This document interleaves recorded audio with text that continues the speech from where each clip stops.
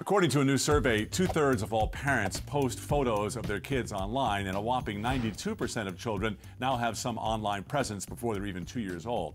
But while it's normal to want to show off your kids' accomplishments on social media, recent studies show there are some major risks associated with posting pictures and details about our kids online.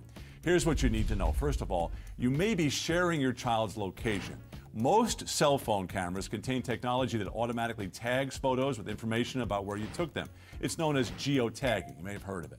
And unless you turn it off in your device's settings, anybody with access to your photos can figure out where your kids hang out, including their school, where they take karate, and even your home address. So all a predator has to do is wait around until they see your kid, call their name, which they learn from your Facebook page, and say, Your mom told me to give you a ride home. Thieves can also steal your child's identity.